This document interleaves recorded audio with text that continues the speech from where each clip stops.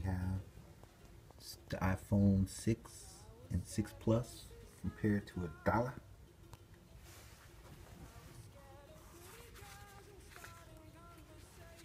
It's not too big on the 4.7. Looks good. You can still hold it in your hand. You still do the one-handed text if you got big hands.